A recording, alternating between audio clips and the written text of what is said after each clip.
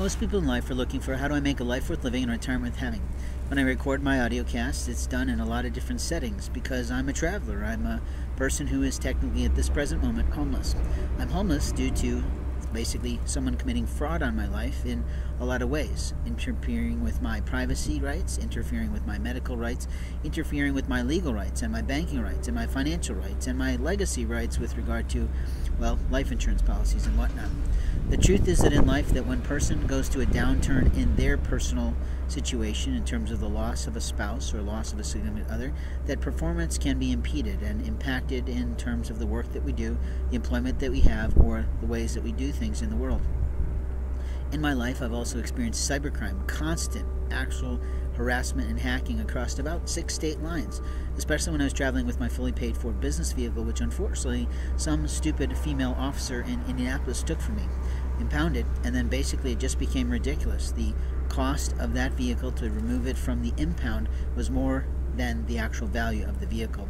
Really upset me because I didn't feel like that was right. I'm looking for my driver's license, not at all. I'm looking for my license plates. My license plates were in my bags, along with a whole bunch of things that were about my legal and financial life.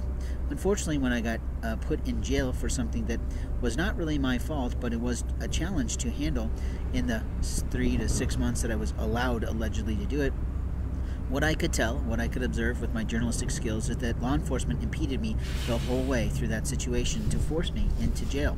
I also knew the morning that I got on the bus, after I walked to the bus stop to get on the bus to go into that court date, that I was told ahead of uh, in advance that I would not be going out after that situation. The Lord told me they'll be going to keep you in jail. They've already decided, even though you've not even had your court hearing yet.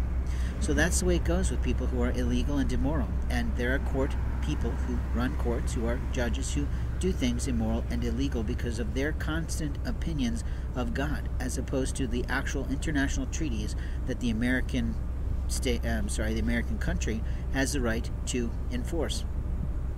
People don't recall that medical rights are a part of the American treaty called the Inter International Human Rights Declaration that is a part of the United Nations.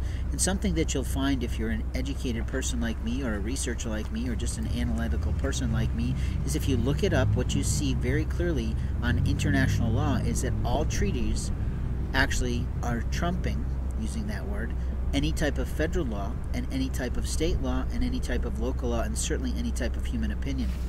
What I mean is that there's a marvelous line on an international law website that communicates that the states must follow the treaties. So when we're talking about medical rights, when we're talking about privacy rights, when we're talking about technology rights, all those things in that treaty impact human life for us, each of us citizens of every one of the 400 nations that basically signed that treaty.